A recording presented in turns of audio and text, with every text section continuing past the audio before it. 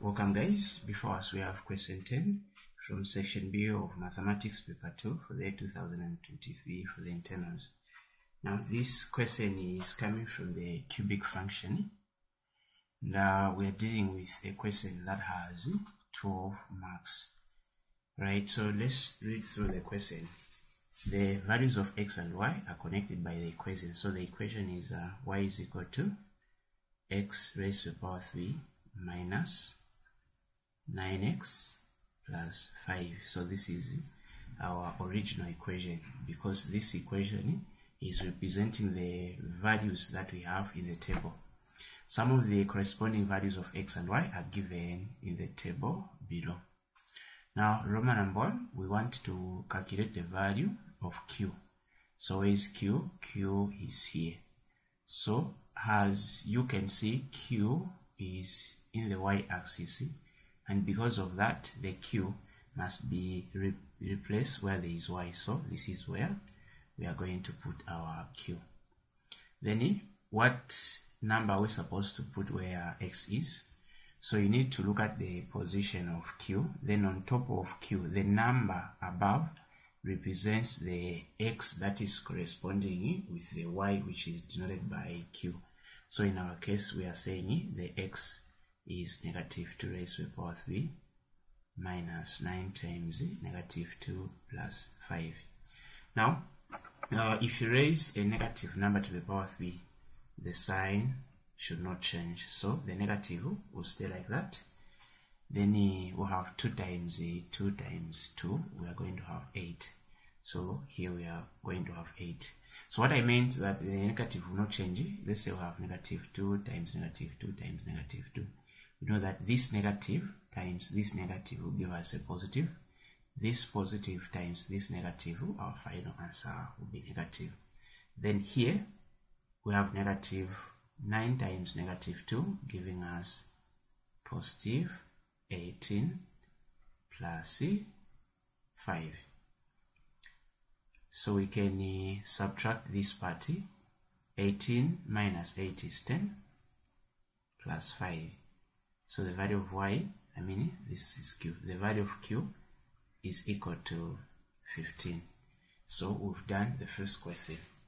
Now we move on to Roman number 2. Using a scale of 2 centimeters represent 1 unit on the x-axis. So for the x-axis, the range is from negative 4 up to positive 4 and 2 centimeters represent 5 units on the y-axis. So the range for the y-axis negative 5 up to positive 20 so we need to make the xy plane but we need to make sure that we plan because the numbers that we are given must fit on our graph paper. So let's draw the xy plane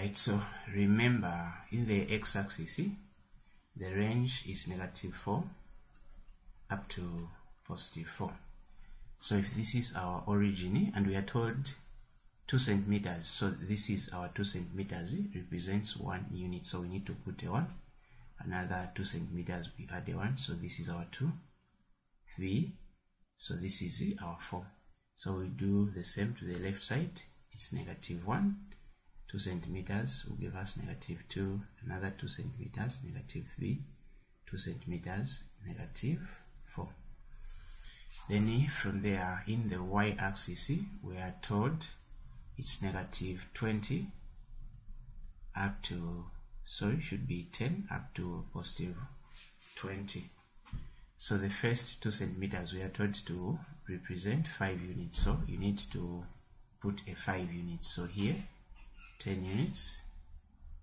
15 units. Then this is where our 20 units will be. If want we can reach up to 25 so the key is as long as we have reached the last number according to the range. So negative 5 make negative 10 so the key is we reach uh, ne negative 10 now before we start plotting it's very important to know what these smaller boxes represents in each axis. So i'm going to begin with uh, x-axis so to to know under the x-axis we need to look at what each 2 centimeter represents. So we are told each 2 centimeters represents a 1 unit. So i'm going to say 1 divided by always 10 so if you divide 1 divided by 10 is 0.1 which simply means that these smaller boxes in the x-axis represents a 0.1 what of the y? So for the y it's uh, 5 units divided by 10 giving us 0.5 so each smaller box in the y-axis represents a 0.5 now let's go back to the table so the first uh, pair of coordinates is negative 3.5 is negative 3.5 comma negative 6.4 so 3.5 is between negative 4 and negative 3 so 1 2 3 4 5 then we are told 6.4 so 5 6.4 is somewhere here. Next point.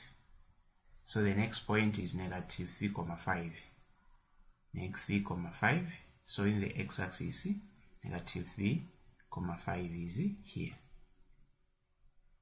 Let's look at the next point. Is negative 2 comma 15 negative 2 comma 15 so negative 2 comma 15 is here. From there we have negative 1 comma 13 negative 1 comma 13 so two boxes makes one in the y-axis so 12 11 12 13 is here. Right then we have 0 comma 5 0 comma 5 so since the x is 0 comma 5 it's here. From there what else do we have? 1 comma negative 3 so the x is 1 and the y negative 3 so 1 2 3 then from there what do we have? 2 comma negative 5 so 2 comma negative 5 is here.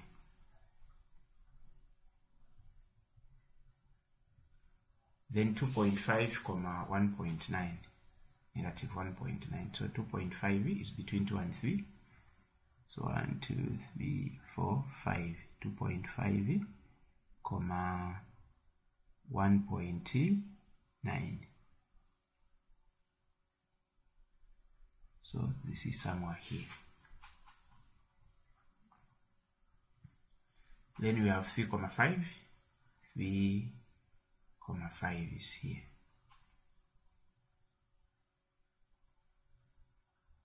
then 3.5 comma 16.4 3.5 comma 16.4 so 1 2 3 4 5 3.5 comma 16.4 so the remaining part is now to draw our curve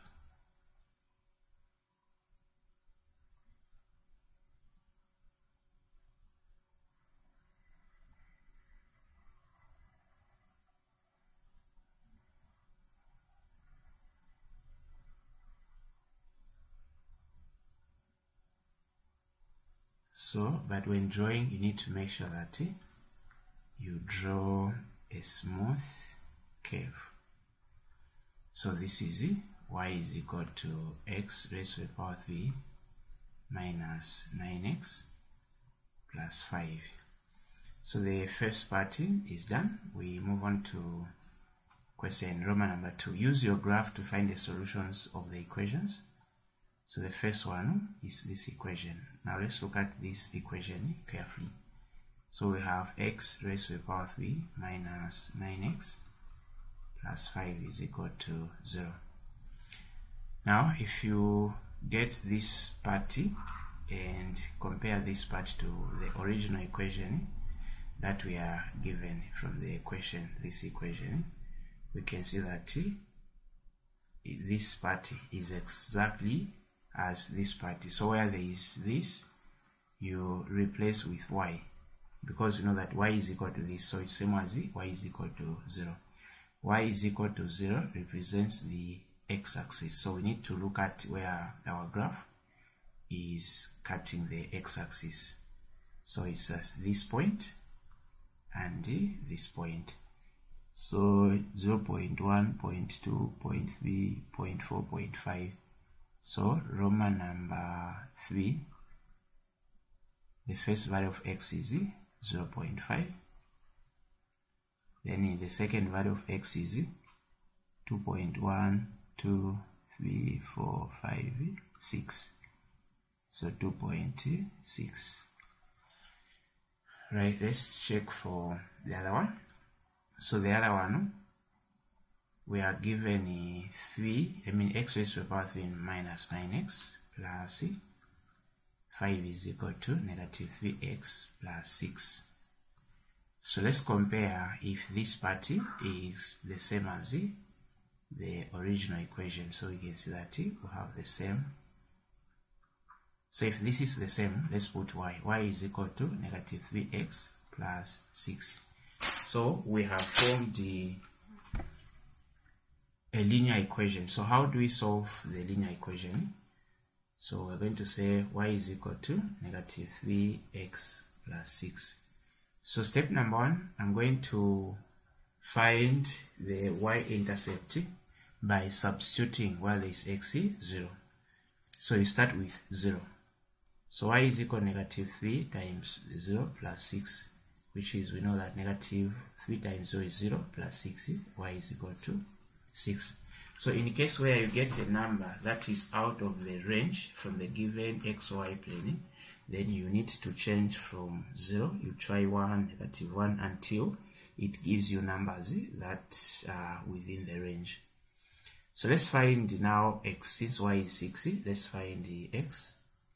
So y is equal to negative 3x plus 6 so since we want to find the x-intercept where there is y we put 0 minus 3x plus 6 so I'm going to shift my negative 6 to the left side giving us 3x is equal to 6 over 3 over 3 so x is equal to 2 so my y is 6 my x is 2 so I need to draw a line. In the x it will pass through 2 since the x-intercept is 2 in the y it will pass through 6 so this is the, the line that we, we want. So make sure you use a rule.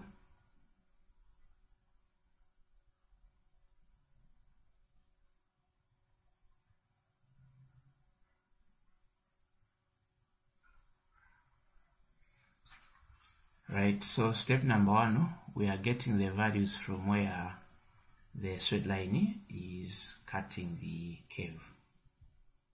So this is my first value according to my graph. The second one will be here.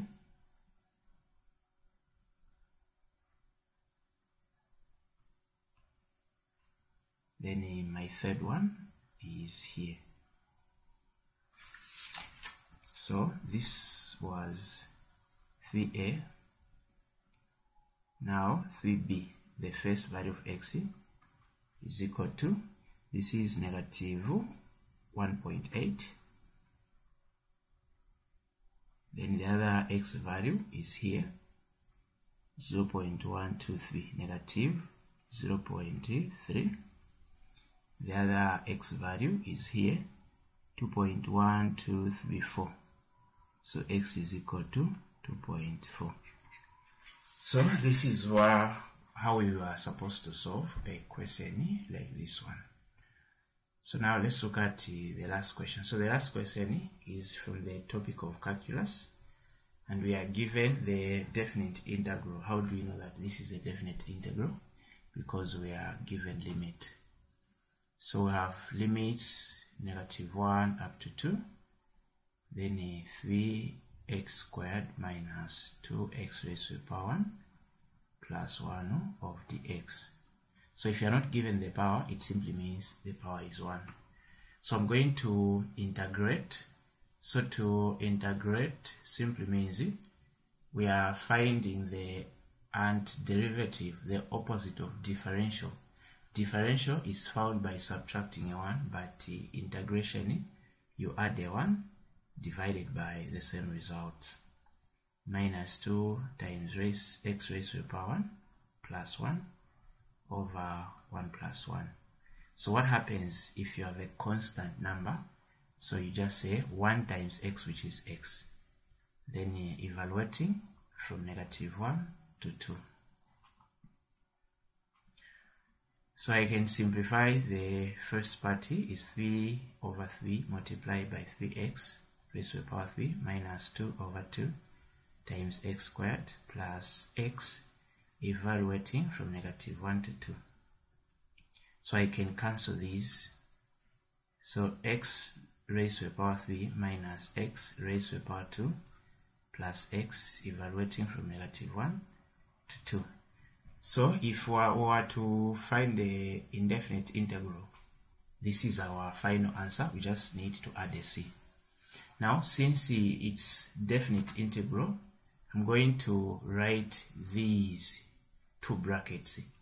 So the first bracket will carry the upper limit, which is 2, minus the other bracket, the lower limit. But eh, inside each bracket, you need to have the exact eh, integrated function so which is x raised to the power 3 minus x squared plus x x raised to the power 3 minus x squared plus x. So which simply means that here x is equal to 2 here x is equal to negative 1 so where there is x I'm going to put 2 raised to the power 3 minus 2 squared plus 2 then eh, negative 1 raised to the power 3 minus negative 1 squared plus negative 1. So 2 raised to the power 3 is 8. 2 raised to the power 2 is 4 plus 2 minus negative 1 raised to the power 3 is negative 1 times negative 1 times negative 1 which is just negative 1. Here negative 1 squared is positive 1 times this negative is negative. positive times negative is negative 1.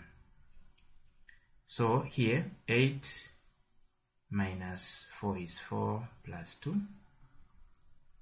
Then here we're going to have negative 3, same signs we are supposed to add. 4 plus 2 will give us 6. Negative times negative is plus 3. So the final answer is just 9 units squared. So the reason why we are saying it's squared, this represents the area so as you can see it's very simple. So that's it for this video. Thanks for watching.